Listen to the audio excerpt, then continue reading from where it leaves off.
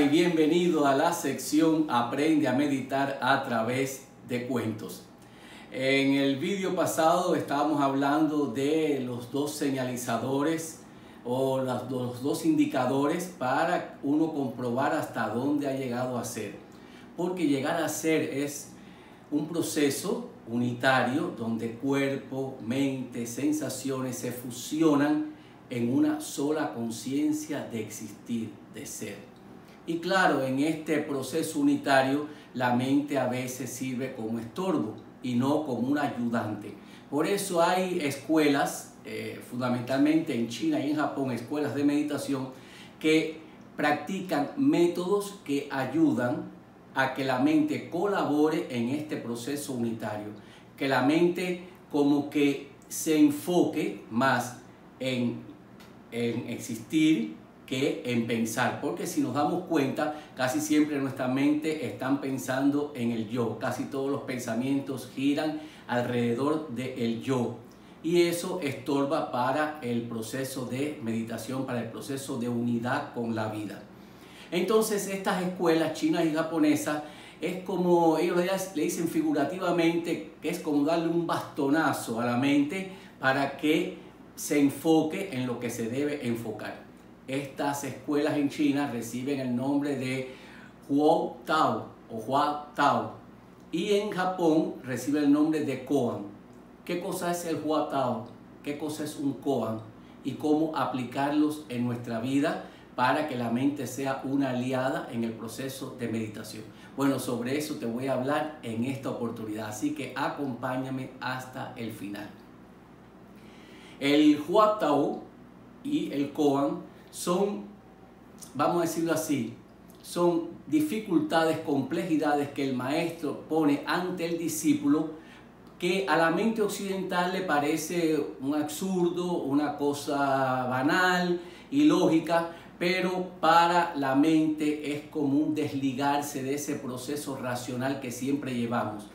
Es como que la mente se desorienta y no puede seguir en ese proceso deductivo racional que siempre llevamos acerca del yo. Claro, no confundir esto con los acertijos. Los acertijos tienen solución desde el punto de vista racional. Los koans y los Hautao o los Houtao no tienen solución desde el punto de vista racional. Es como que la mente se cansa de pensar en eso sin una solución, como que la mente desfallece y lo que sobreviene es una quietud silenciosa. Vamos a aterrizar todo eso en un ejemplo concreto para que lo puedas entender. Por ejemplo, eh, un Houtao o un Huautao o un Kohan sería el siguiente. ¿Cuál sería el sonido de una mano sola aplaudiendo? Vuelvo a repetir. ¿Cuál sería el sonido de una sola mano al aplaudir? Eh, cuando la mente está enfrascada en la solución del koan, cuando está ante el Koban, ahí así no se puede pensar la, que si mi personalidad es así o asado, si tengo tal o más cual trauma, cómo está mi, mi autoestima, si está alta o está baja. Tampoco puedes ir tras experiencias agradables, que desgraciadamente se confunde la meditación con ir tras experiencias agradables. No puedes hacer nada de eso. Ante un Koban, todo se desvanece, todo desaparece te voy a hacer dos bellas historias acerca de koans o Huao Tao que plantearon, en este caso, maestros iluminados o maestros realizados chinos. La primera historia pertenece al gran maestro chino Shao Shu. Una vez se acercó un discípulo al maestro Shao Shu y le dijo, maestro, ¿qué es lo que sucede con una persona que se realiza completamente y llega al estado no sensorial, es decir, al estado de no experiencia alguna. Entonces el maestro le se sonrió y dijo, lo asienta. El discípulo no entendió, maestro, pero ¿cómo asentar algo que no existe? Entonces el maestro le dijo, lo asientas, piensa sobre eso. Es decir, trata de asentar lo que no tiene experiencia ninguna y verás lo que sucede. Y el otro, eh, Huao Tao, pertenece a este también gran maestro que se llamó Shang Hui. Shang Hui estaba, vivía apartado en una montaña y hasta ahí fue a visitarlo una mujer que había recorrido muchas escuelas de meditación, quería realizarse, pero no había tenido éxito en ninguna de las formas de meditación que había practicado. Como sabía que eh, Shang Hui pertenecía a la escuela de los Huatao o a la escuela de los, de los Koan, fue y le preguntó, maestro, por favor, dame un ejercicio, porque los chinos llaman al Huatao un ejercicio. Dame un ejercicio para realizarme, para iluminarme. Entonces el maestro le dijo, déjalo ser. La mujer dijo, ¿dejar ser qué? Pero además, ¿quién lo deja ser? El maestro sencillamente le dijo, déjalo ser. Entonces, cualquier cosa que te suceda en la vida, cualquier pensamiento que acuda a tu mente, cualquier emoción que experimente, déjala ser, déjalo ser. Aplica ese coas en tu vida y verás los resultados. Recuerda, déjalo ser. No sé si los Beatles al escribir, al componer esta bellísima canción que según la revista Rolling Stone está considerada la canción número 20 entre las 500 mejores canciones compuestas en todos los tiempos, Let It Be, no sé si tuvieron en cuenta este koan. De hecho, los Beatles tuvieron una influencia de toda esta corriente oriental.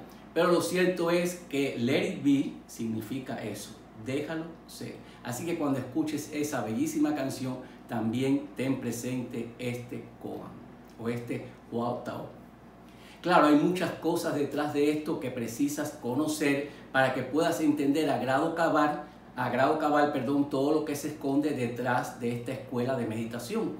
Pero eso lo voy a dejar para el próximo cuento. Así que te sugiero que no te pierdas el próximo cuento que va a estar muy interesante y que seguiremos hablando sobre estos bastonazos figurativos que se le da a la mente para que pueda volver a reencontrarse con la esencia en unidad con el cuerpo y con las sensaciones.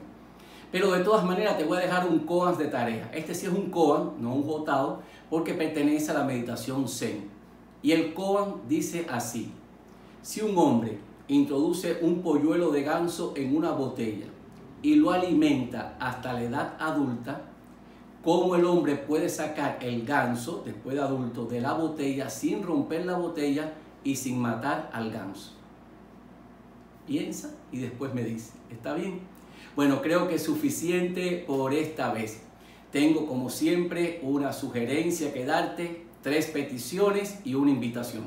La sugerencia es que si precisas o quieres un entrenamiento personalizado en el arte de meditar, aquí debajo del vídeo te dejo un enlace donde puedes contactarme y también en los comentarios te dejo el enlace y será un placer el ayudarte. Las tres peticiones, como siempre, son que si te ha gustado este vídeo, por favor dale un me gusta para que el canal siga creciendo, compártelo con la mayor cantidad de personas posibles para que se puedan beneficiar de esta información y además déjame saber tus comentarios, opiniones, recomendaciones acerca de la información que has recibido. Además, espero tus respuestas acerca del COAN que te dejé de tarea. Y la invitación es que si por primera vez sintonizas este canal y te ha gustado este vídeo, por favor suscríbete, dale a la campanita de notificaciones para que me acompañes el próximo sábado en este misterioso y maravilloso viaje por la meditación a través de cuentos. Hasta ese entonces, muchísimas gracias y que la paz sea contigo.